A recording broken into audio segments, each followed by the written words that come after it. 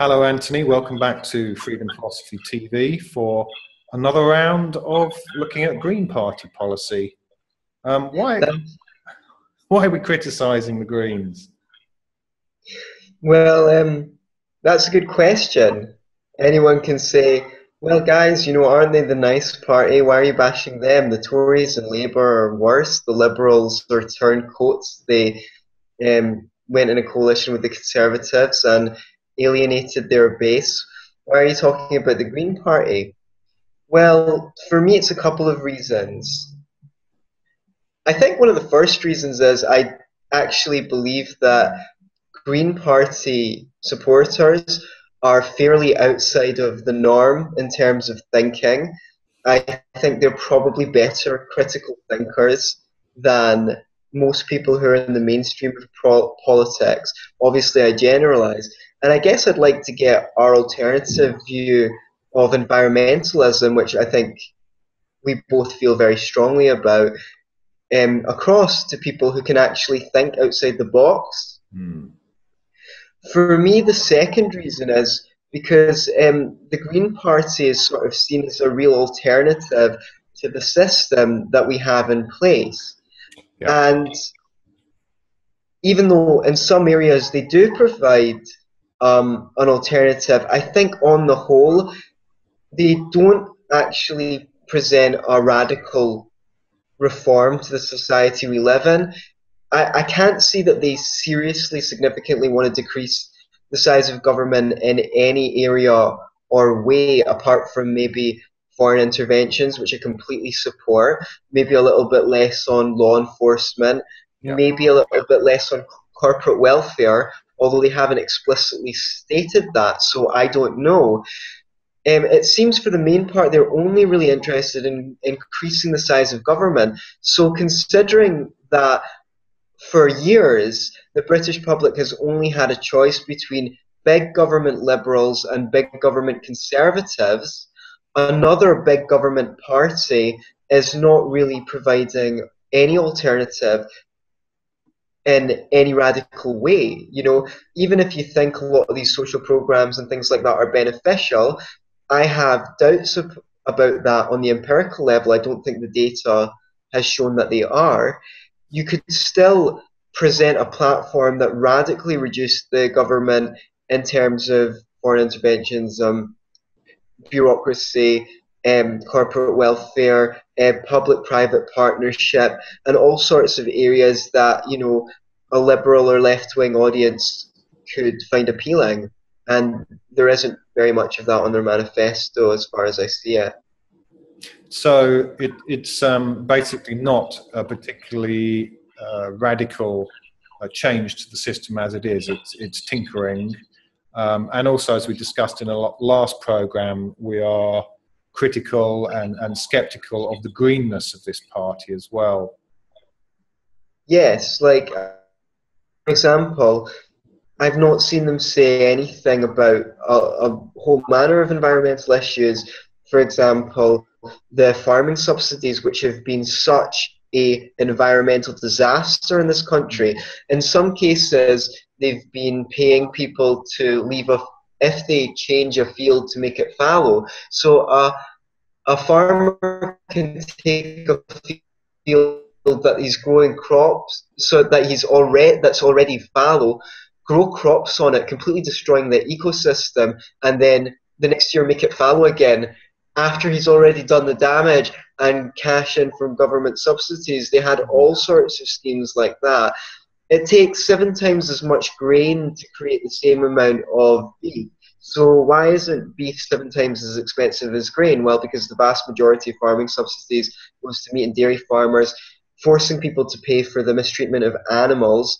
And you know, we know that um, a vegetarian diet is better for the environment than one that includes a lot of meat. And that's just one example. We discussed several examples of how they weren't green in our last program that people can catch up on if they haven't seen it yet. Yeah. Yeah, so our criticism really is that they look like a radical departure from uh, um, what you might call uh, centralism, uh, but in fact they're not that radical a departure from it. They're only a uh, tinkering at the edges, and and you know m- maybe they make some improvements here, maybe they make some things worse in another place, but it's on the whole, it, it's just not really a big deal in terms of, of overall change, and it's not green. It seems like it seems like they've basically taken various left wing policies that are already in place and just tried to make them better versions of what they already are. Yeah. And you know, I don't commit the perfectionist fallacy. I do prefer any improvement to society over no improvement at all. Yeah. But I think actually, in terms of pragmatically, their platform leaves a lot to desire to be desired. So maybe we could talk about some major issues that we didn't cover in our last video, which is why we're doing a follow up. Yeah, okay, so let's go on to the universal basic income. Now, I, have just run some numbers on this, and I, I, think there's some other numbers around that are similar. Um, but essentially, they want to give everybody uh, a weekly payment uh, of, of, a basic income, which I, I, think we said was £72 or something like that um, which is kind of like, I guess, job seekers' allowances now. It's it's it's set at the the sort of poverty line. It's the the, the level where you've got enough income to pay for your food and, and basic needs. Um, but this, if you figure this out for the whole population, it would be, be something like a, an entire third of the gross domestic product that would be consumed. It's an absolutely colossal sum of money. Um, and to suppose that that won't have some kind of foundational change in the uh, nature of our economy, um, like, for example, changing the tax base um, or, or, changing the incentives of people to turn up and go to work, would seem to be, uh, to me, to be incredibly naive and, and, and really just uh, completely ignoring uh, economic realities. Uh, what, what do you think, Antony? Well, first of all, as you say, there's the the economic reality that, that it doesn't look fungible at the moment. Then, of course, there's the moral argument which says you're not really actually entitled to anything that anyone has to produce. I mean, they might give it to you if they if they like you or if you if they feel charitable, but you don't have the right to use the gun of the state to get it from someone else, otherwise, you're actually enslaving them. So I know that not everyone has sympathy with that argument. They think that it's um, rhetorical or something like that, and that you do, in fact, have the right to um, things that other people produce because we live in a status society. So we should probably look at the practicalities before we um, take it down we should look at some of the benefits of it over the current system. Yeah. Um, as I said, I do not support the perfectionist fallacy well, where we go, well, that's um, better, but it's not good, therefore we shouldn't consider it. Mm. In some areas, it seems to be better, and one of those is that it closes the poverty traps. And under the current system of welfareism, you can earn less if you work more, which puts people off taking hours. One thing that this will do is it won't link your basic income to your employment status. You're entitled to this even if you're employed. So at any stage, if you work more, you'll be earning more, and that would close poverty traps. That makes another sense. Th- yeah, another thing is that it would give value to work that's not currently remunerated in our society, such as stay at home parents or people who do volunteers. Because, of, because it will be much simpler than the current system, it should create less bureaucracy in the welfare system and it will be harder to abuse than the current systems. Maybe there will still be abusers, but um, it would be harder to do. Um, it's also meant to, here's that big word that liberals and lefties love to use, reduce inequalities, mm-hmm. supposedly. And it will also, one of the arguments is it's stressful to think that if you lose your job or something like that, then you won't be able to provide for yourself. So provide security for people where they can get that stress off their shoulders. So, with all those um, supposed benefits, let's talk about some of the potential costs, because those are sociological propositions that it will benefit society in all these ways sociologically. What are the sociological implications of a basic income? And you know what? If it's so good, why can't people fund it voluntarily? Why do people need to be forced at the point of a gun to fund it? Mm. Yeah, I'm always suspicious of an argument that um, proposes that there is only gains uh, by taking a specific action. Every every action has a cost associated with it, and and oftentimes with political policies, those costs um, are, don't become obvious for a long time. So, for example, a country might go into a deeply socialist policy, and that might work well for 10, 20, 30 years, but then eventually people adjust their behaviors um, and, and the economy ends up collapsing. Um, and the other side of it is that the costs may actually never be seen. So uh, the effects might actually not, they might be like negative effects. So things that you don't, that aren't actually visible. And that, this applies to things like um, guns typically. It's very difficult to work out. Um, obviously, if somebody gets shot with a gun, there's somebody dead. Um, but it's not so easy to see how many people uh, weren't robbed because the robber knew that they had a gun. So there can be these like hidden effects that, that aren't really measurable or, or not very easy to see. Um, and like uh, I'd like to make an example. Yeah. So people who talk about taxing the rich, you you can see the the benefit of the government handing out some money to some people to create a do- job or build the Hoover Dam or something like that. Yeah. What you can't see is the long term growth that the economy misses out on mm. because if that rich person was investing money, they would be the kind of person who wants to get the return on their investment. The best return on their investment is the business that performs the best over the long term. So that stops people starting businesses which create jobs that are sustainable over the long term yes. rather than just a wham bam thank you man for building a Hoover Dam or a highway or whatever social project uh, project the government wants to fund that might create busy work in the short term Make but will not create long term growth in the economy. And this is a fundamental misunderstanding that socialists and liberals have on growth. The Keynesian idea that spending creates growth rather than saving. Saving creates growth in the long term. But as you say, it's a fallacy of the seen and the unseen. Mm. Mm. Yeah, that makes me think of the uh, the uh, derelict uh, buildings in in China that the, um, the the Chinese have created huge loans to these crony, essentially crony corporations to knock up. Uh, um, you know acres and acres of, of concrete uh, boxes, and there's, there's nobody living in them. it is just uh, just ghost towns. Um, and similar things happened in in uh, the Soviet uh, Russia as well. Um, like they would build they would build a factory not based on the efficient use of resources, but on the need for employment in a specific area. So rather than the labour having to move to the plant where it would work efficiently, uh, the plant would be constructed where there was mass unemployment.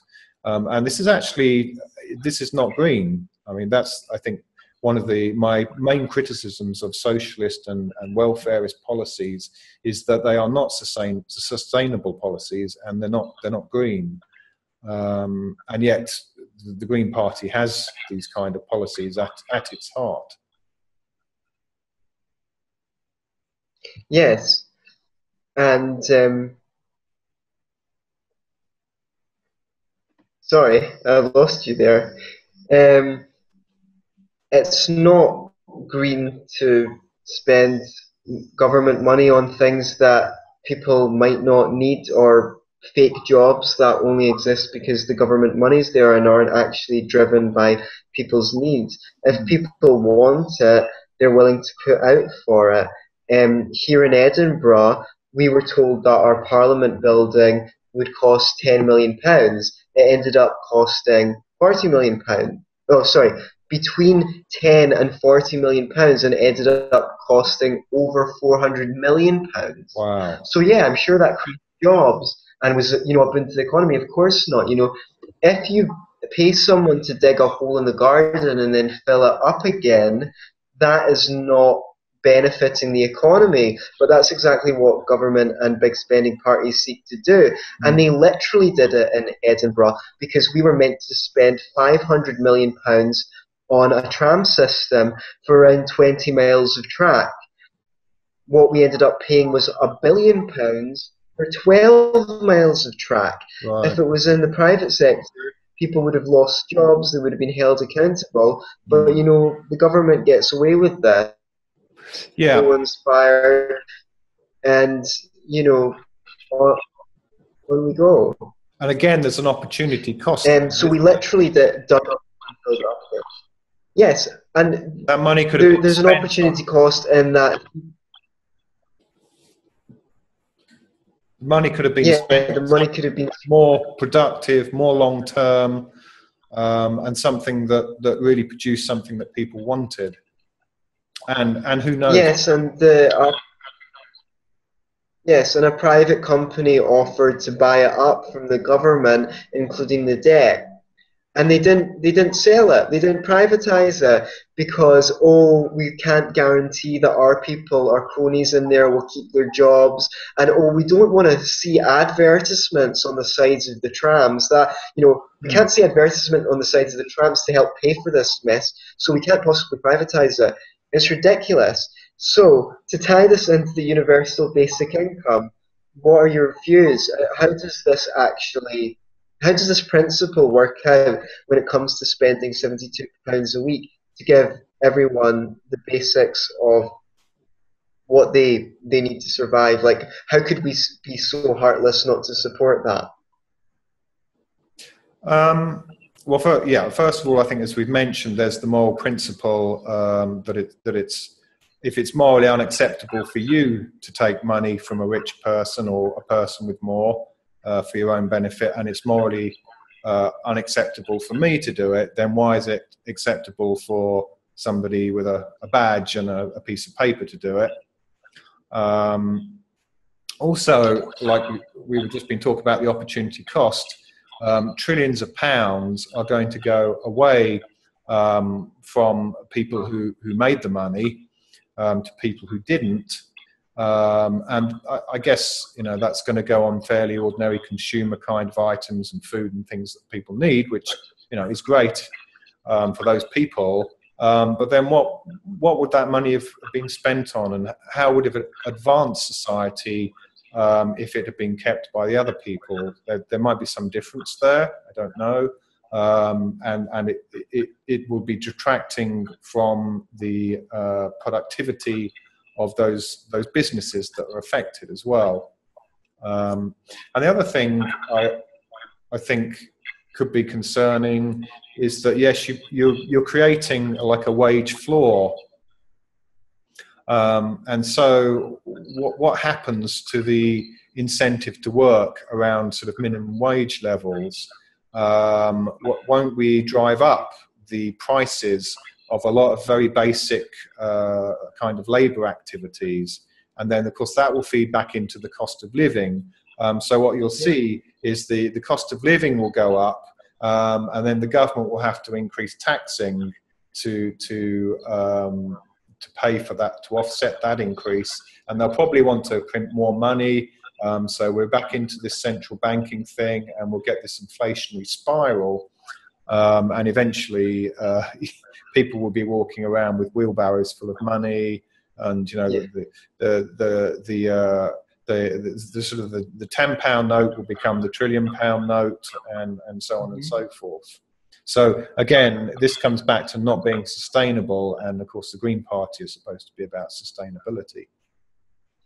Yes, I think my main concern with the basic income is that wealth is generated, money isn't wealth, right? Wealth is generated by people's labor. Mhm. The more money you're giving out and the less labour in the economy, the less that money is actually worth.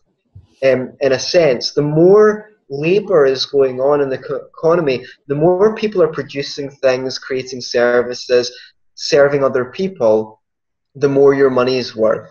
Yeah. Now, when you give out a lot of money and there's no corresponding increase in economic activity, even though I hate to call it that, I'd rather call it people serving other people, people doing things for each other, whether that's making things or providing a service mm. um, or whatever. You know, the less people are doing stuff that's of service to others, then that money isn't really tied to any labor at all. So that's just basically going to create massive inflation because um, you know people can go out and spend their 72 pounds but there's not more stuff to spend it on so shopkeepers start increasing their prices and whatnot and so forth so it's really important that the money that people earn is actually corresponding to them either them or someone else producing something.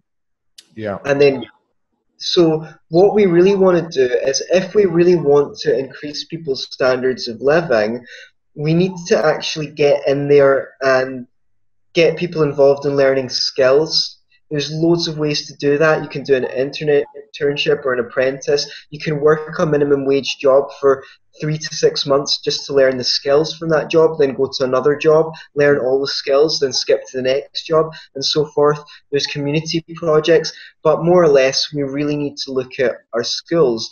I'm not one of these people who believes that the only purpose in education is vocational, but 12 to 14 years in mandatory education is long enough to become a concert pianist. Mm. So, out of that, surely five hours a week or even less than that on learning skills that have economic value. It's a travesty that anyone can come out of education system and not for 12 to 14 years and not have any skills that fetch 10 pounds an hour. So if the gov- if the Greens are serious about actually improving people's standards of living, it's not about giving people money that's throwing them a fish instead of teaching them how to fish. We really need to look at how our government talks about the importance of people learning skills. And this isn't some kind of Randian selfish, well, if you can't make it for yourself, you don't deserve it. This is about people's basic dignity and a, a, a, ability to function in the world in a self-actualizing way. Because mm. low job skills, low low skill jobs, they ain't that fun. Working in a skilled capacity to serve other people is generally a lot more engaging. This yeah. is about what we're talking about as a society. And things like the basic income, now it might sound brutal, but it basically disincentivizes people getting on the skills ladder yeah. and um, actually living a fulfilling life? Yeah, I, I you know, I find in periods um, where I'm, I'm, I'm not engaged in um, productive employment or productive work, um, I find I find that quite a deep, you know, quite a deep emotional state where I feel uncomfortable. I'm like, no, I, I need to be doing something to to help people and I need to be doing something to get recognition that I've I've given mm. service to somebody. Um, and and I think this is you know why people who are long term unemployed get into drink and drugs and depression. Um, we need, um, and I'm saying the we word here, but but I think it's generally true. We need something productive. We need to give to society. Um, now, um, you know, I'm coming that from that my perspective. I know, you know, there's sociopaths, there's people with personality problems who have a kind of uh, psyche that, that, just likes to take and has, has no desire to give or, or to be uh, useful and productive to other people. Um, so in that way, uh, these, these policies can be quite divisive because they, they appeal to, to a certain minority of people. But overall, I think it's, you know, to me, it's quite important to be productive and to contribute something and to get that money in recognition from people who are real customers who really want this mm. stuff. um, not not just a, a handout. Um, and I also wanted to mention um, some interesting things that have gone on in Venezuela, uh, where the the sort of socialist party there are trying basically um, trying to reduce prices and keep keep in place uh, a ceiling of prices on basic commodities. And of course, this is just creating a black market um, where where people are uh, acquiring uh, these goods um, at the artificially low price from the government and then shipping them over the border to Colombia where they can sell them higher. Um, so any any kind of government intervention has to be be uh, very carefully constructed so that it doesn't create these uh, price imbalances um, and cause a movement of, of people and goods. And of course, that's that's probably what's going to happen when you start inflating uh, the tax um, on the productive classes. Um, and this happened in, um, I think, the Bahamas or, or somewhere in the West Indies. Um, the socialist government came in, and um, a lot of, I think it was Asians, said, right, that's it, we're, we're leaving um, uh, wherever it is in the West Indies, we're, we're going now.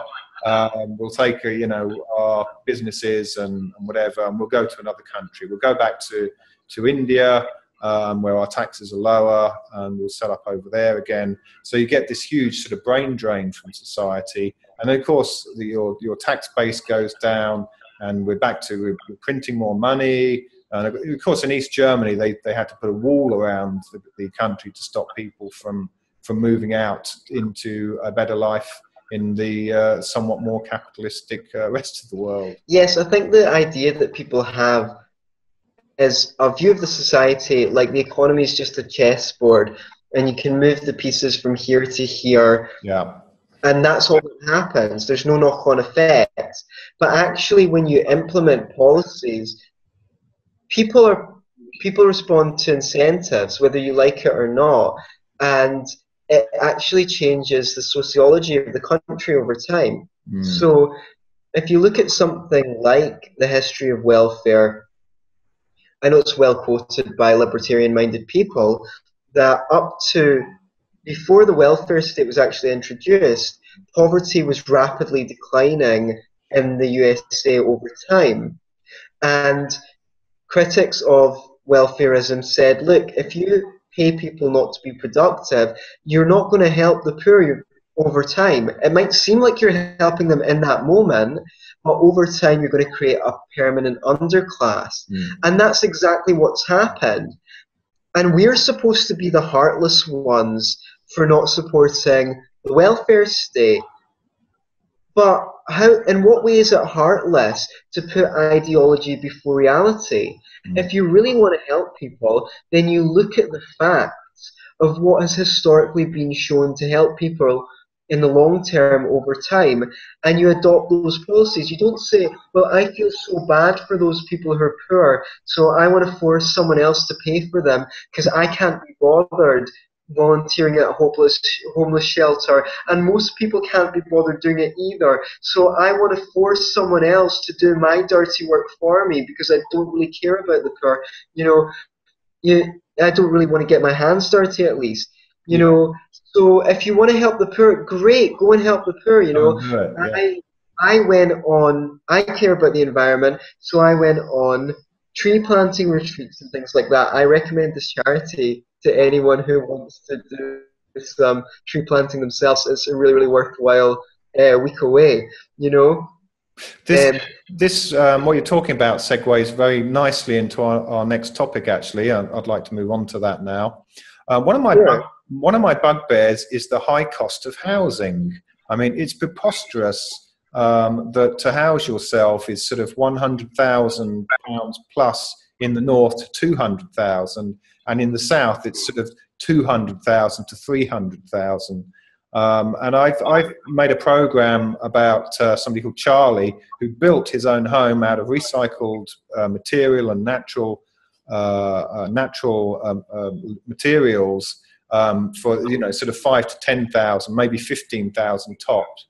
Um, on some private land, it was his, I think his family's land. Uh, of course, the council want to knock it down because they consider it to be unsightly.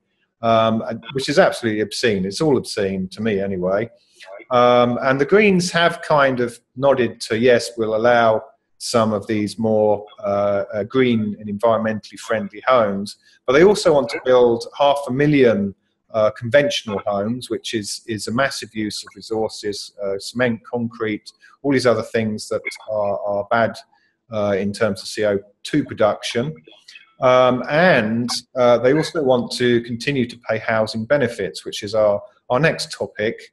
Um, and of course, most of these benefits end up in the pockets of of uh, landlords who have many of whom have borrowed money from essentially the central bank uh, to become property owners. Um, so it, it's a whole sort of uh, I don't know whether Ponzi scheme's the right word for it, but it's a, it's a very nice um, it's a very nice source of income for a, a, class of people that aren't really being productive at the end of the day. They're just taking a, a bit of a risk. Um, not that I, am against risk taking. I think it is a useful activity in a free market.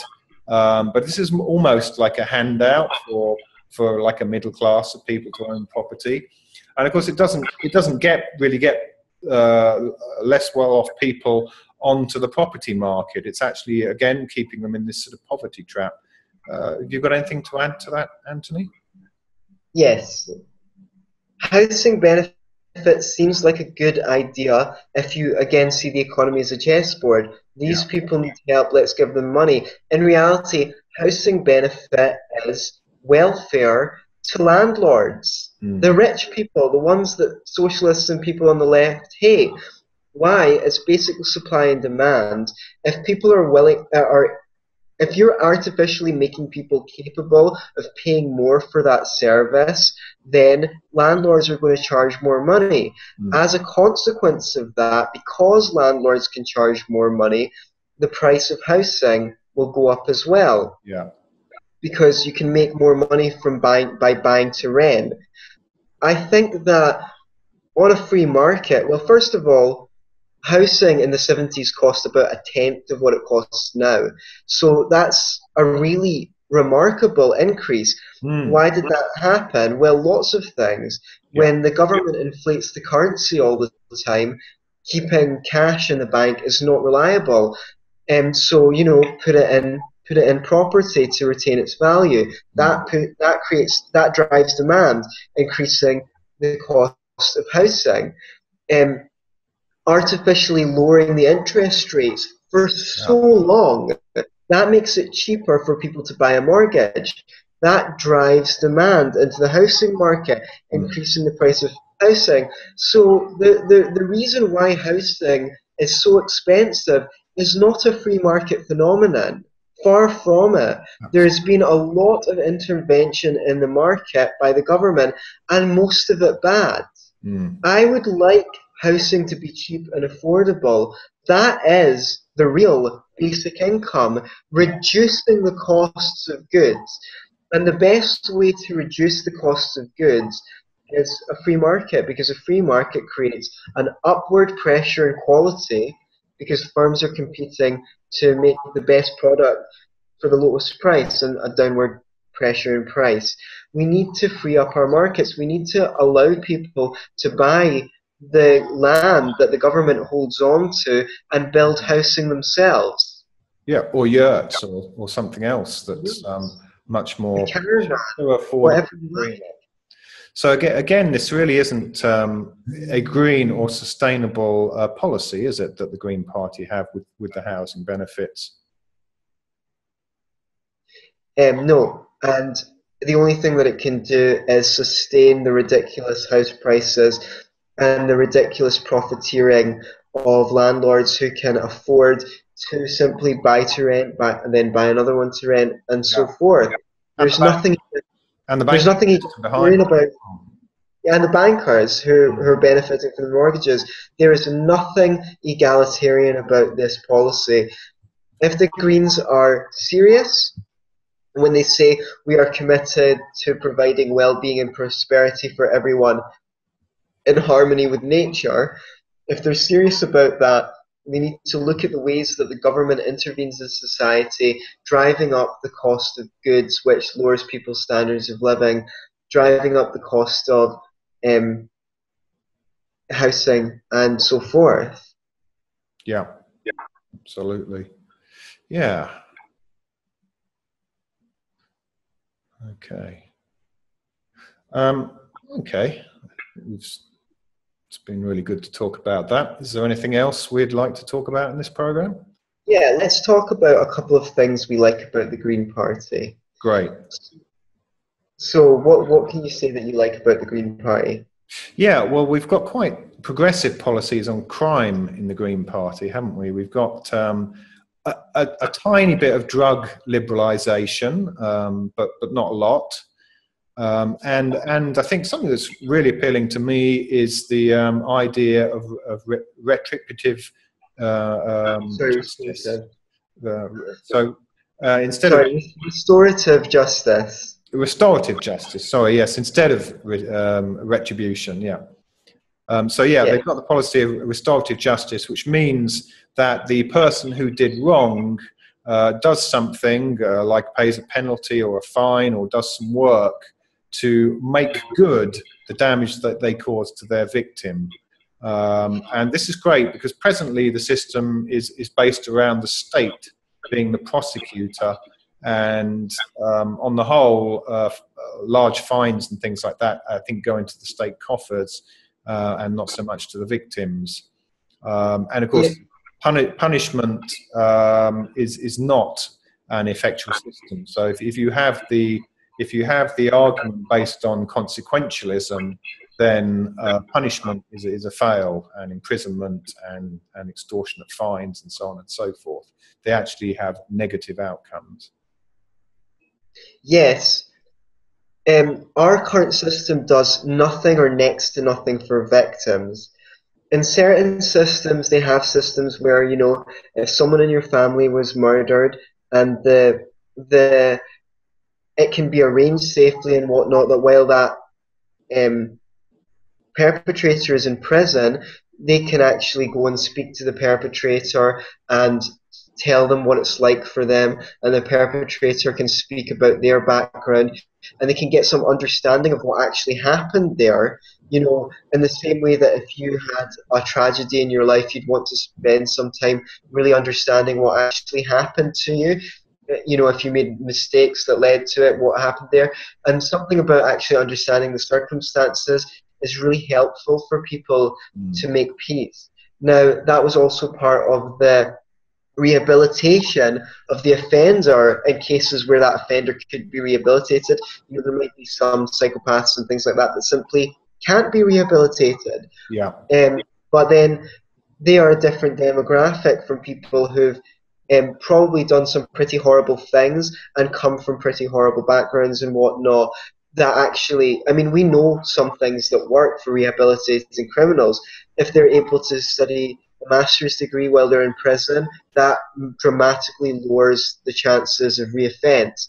Transcendental meditation, learning nonviolent communication while in prison, um, and various other modalities. Now, if we could look at our crime policy and start adopting some of those things, I know some people will be like, oh, you want to be a soft touch in crime, but actually, what we want to do is stop spending so much money locking people up for long periods of time when actually if they were given the right conditions they might actually be able to not only um, become the kind of person who wouldn't reoffend but get engaged in some sort of meaningful work in the society and again the great thing about restorative justice is it actually takes the victims into concern and does something to maybe provide them with some counselling, and provide them with recompense for whatever they've lost.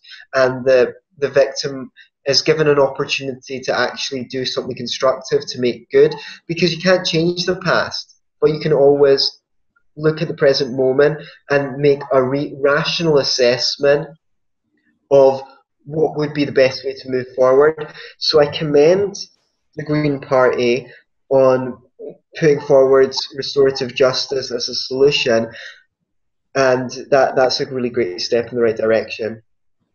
Yeah, this raises a question for me, and, and that's how would the Green Party uh, punish people who won't pay their taxes? Um, I don't know. I think, yeah. I mean, uh, what, will their argument be when they say, well, if you don't pay these taxes, then these people will go hungry, blah, blah, blah. Um, and then, you know, people say, well, yeah, but I earned this money. It's, it's mine. Uh, how can, how can you, that, you know, how can you steal it? Doesn't, doesn't that make you criminals? And shouldn't you be uh, paying back the taxes that you've stolen? Because um, the, the whole dynamic of, of, of uh, statism uh, is predicated on certain crimes being lawful when certain individuals commit them. Um, so I, I just I, I, suspect most Greens aren't even aware of this kind of, argument that's uh, very common amongst uh, anarchists, particularly I think anarcho-capitalist uh, types and libertarians. Uh, I don't think they've seen that stuff. So yeah, I, I wonder how um, I wonder how it will go uh, if if they ever, in the unlikely event, got got into power and uh, did all these these policies. I'm also pleased, as you said, that they're looking at decriminalizing um, drugs now. Despite looking like a, despite looking like some kind of, I don't want to say uh, what. Um, I've been accused of looking like uh, I'm not a weed smoker, um, but I do agree with drug decriminalization. In fact, I believe in drug legalization. I think that the Green Party aren't actually going far enough because I think if drugs were legal, I mean, drugs have been illegal for something like 50 years now. Drugs would be so safe by now if you had some of the best pharmacists in the world working for 50 years to make the best product with the least side effects drugs would be much safer if they hadn't been made illegal 50 years ago. And whatnot, that money shouldn't be spent on putting people in jail for activities they engage in voluntarily. If you want to spend government money, then it should be in treating people with addiction problems, not on locking people up. And I think that is where the Green Party are trying to go, like treatment rather than criminalization. I think that it would be a good thing if people could get drugs from legitimate sources rather than some dodgy dealer in an alley because the, they'd know what they were getting. There would be ingredients in the back, such and such a percentage of this, such and such a percentage of that. The product would be a lot safer. We'd see a lot of people, less people going into hospitals and things like that. And I personally don't agree with taxing, but um, a lot of liberals believe that if you legalize ta- uh, drugs, you can put a tax on them, and that can pay for the treatment of criminals, and that's certainly a better system than we, we, we currently have at the moment. Sure. So it, it's it is a progressive policy, and, and one of the better uh, sides of the Green Party. Um, and it's certainly green, uh, as you in the last video. Yeah. Um, I I don't know. Yeah, for me as, as well, it doesn't go far enough. Um, I'd go further than um, le- than legalization and just say decriminalize. Um, and I think uh, yes, once um, drug production is is on the free market again, um, producers will, will produce cheap and and clean product or pure product, whatever you want to call it. Um, and the sort of the, the mixing down and dirty products that put people a lot more people in hospital or, or into morgues unnecessarily uh, would be would be eliminated from the market, as would the violence and gangsterism that goes along with the drug war, um, as with lots of police uh, hours uh, wasted fighting something that can't be beaten. So there's there's a whole lot more um, and a lot further they could go in that direction. But I suspect they're being uh, either conservative or they don't want to be too radical or whatever it is that people um, want to label doing something that's probably the right thing. Um, mm. The other thing that comes up for me around this is is just how silly it is to put uh, drug dealers in prisons. I mean, that's just like the most idiotic thing you could you could possibly do. I mean, they are they are places um, where there is a captive uh, market to sell to. Um, where there's a hugely inflated price again because of the, the level of status interference is even higher. Um, and and I, have I've heard from people that have been in prison uh, for drug dealing, and they say, yeah, it's a holiday in there and very profitable. Um, and you know, if the go- if the government can't control it inside four walls, then it, it's just futile to attempt to control it in wider society. Yes, and at the end of the day, you know, criminalizing drugs is just creating a massive profit for drug dealers. I heard that it costs less to make a kilogram of cocaine than a kilogram of sugar. And yeah, a kilogram of sugar costs one or two pounds. I don't know how much a kilogram of cocaine costs. I've never bought cocaine or taken cocaine, but it might be something like a hundred thousand pounds or certainly several tens of thousand pounds. Yeah. So you are actually creating a massive income for criminals who might be involved in other things that mm-hmm. are, you know, worse, you know, um, trafficking or or anything. You organize crime, you know. Absolutely. So this is a bad idea Drugs being illegal is a very bad idea on all counts. It's a waste of government money enforcing it. It's creating lots of money for criminal people. It's making the products dangerous and costly, which means that people who are addicted to those products might resort to crime to feed their habits. There's no single criteria in which drug prohibition has been a success or could possibly conceive to be a good thing. So the fact that we still live in a society that hasn't seen the light on this issue um, is beyond me, completely insane. Yeah, I think it comes down to part of, of um, people's psyche and their desire for control, and and fundamentally a a, uh, a sadistic, a masochistic uh, personality disorder of some kind that's, that's very widespread or deeply ingrained, possibly through the schooling system or possibly through uh, a violent and abusive parenting. Um, that's the best I can say on that one. Um, it, it's yeah, and it's a disturbing thing as well. I mean, it's it's the it's the the the fuel that ignites the state. Hmm. I'd like to close now. Um, I have this quotation which I'm just going to throw in.